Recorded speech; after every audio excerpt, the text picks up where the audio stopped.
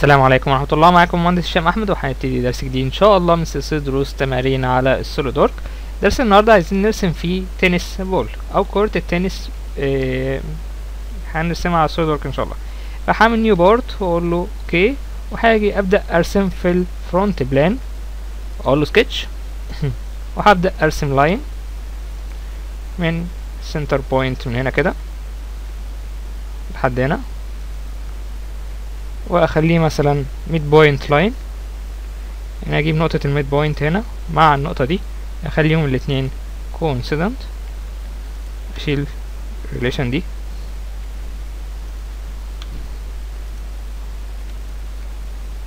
coincident. أرسم على طول midpoint line من هنا لحد هنا كده. تمام؟ هبدأ بعد كده أحط له smart dimension وليكن اتنين وسبعين. المنظر ده كده. أبدأ بعد كده هرسم arc center point arc من هنا لهنا لحد هنا. بالمنظر ده كده. هقول له sketch. وأقول له feature revolve حوالين ال axis ده.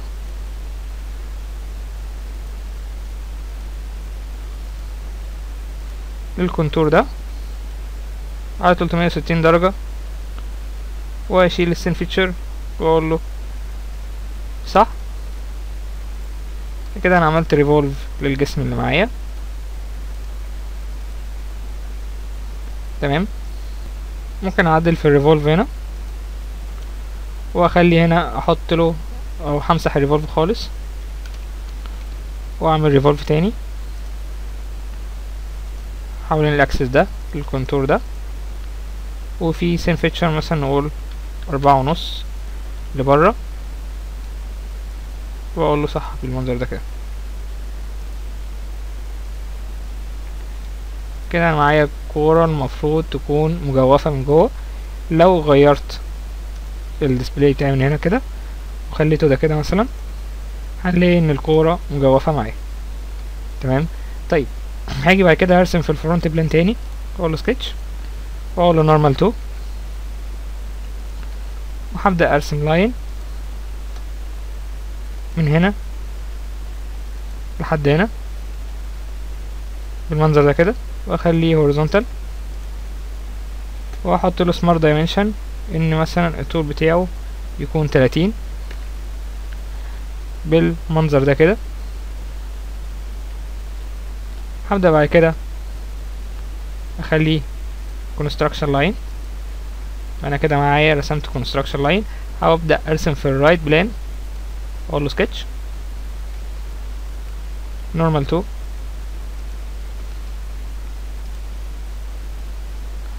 right plane sketch. Normal to أبدأ أرسم line برضو من هنا. لحد هنا كده.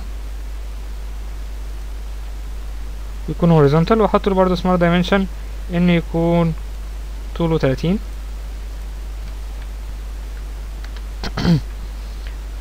تمام. واقول له exit sketch وأجي أرسم برضه في ال top plane نفس الموضوع. normal to بالمنظر ده. وأبدأ برضه أرسم. بس المرة دي هرسم مستطيل. corner rectangle من هنا. لحد هنا كده مثلا.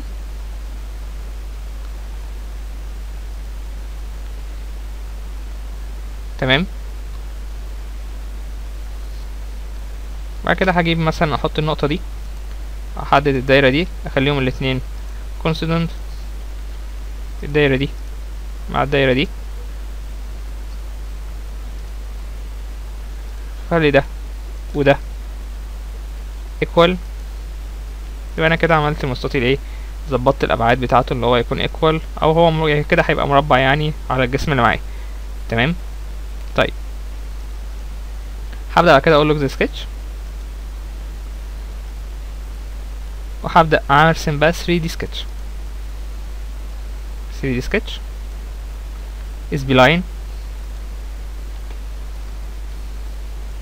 في إكس و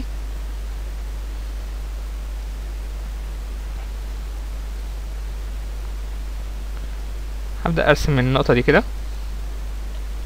لحد النقطة دي. بعد كده هنا.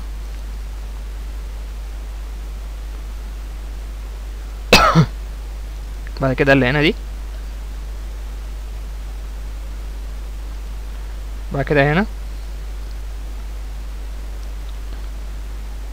بعد كده هنا.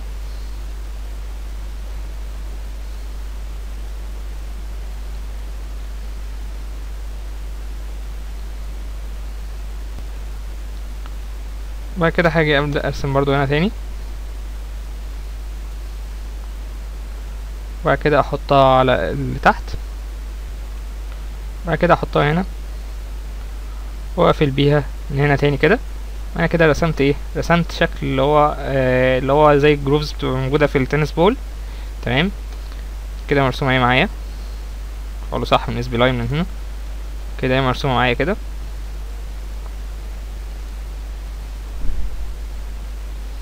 تمام؟ هبدأ بعد كده أطلع من 3D sketch هقول له exit 3D sketch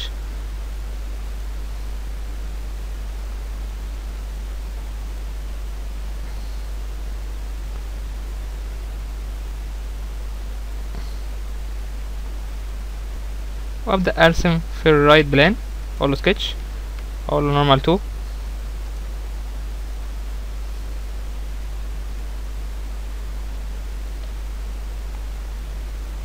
هرسم center slot. من هنا. المنظر ده كده. Smart dimension. إن ده اتنين.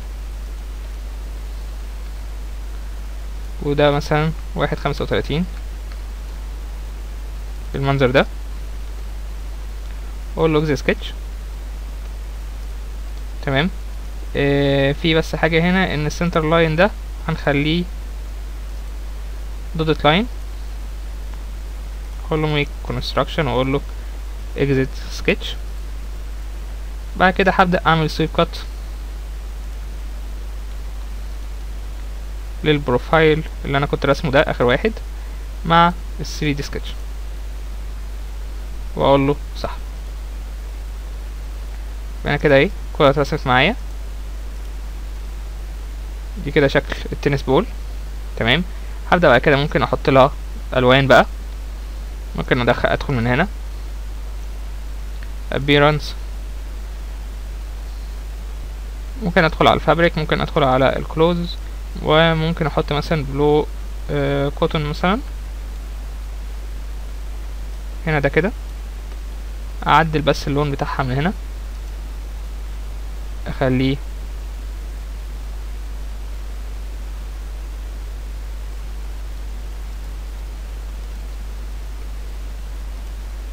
اخليه مثلا فاتح كده.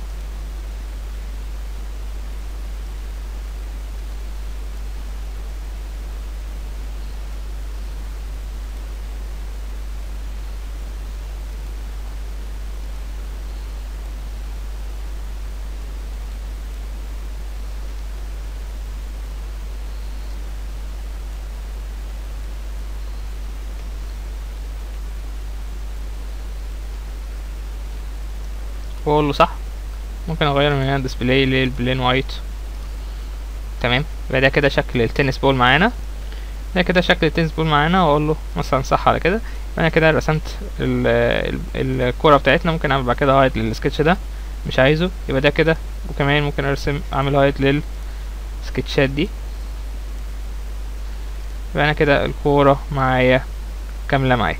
تمام؟ آه ده ممكن نخلي هنا برضو نحط مثلا ده أبيض.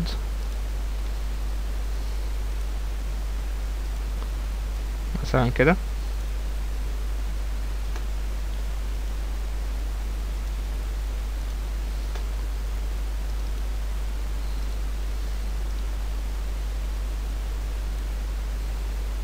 للسويب كات مثلا كده.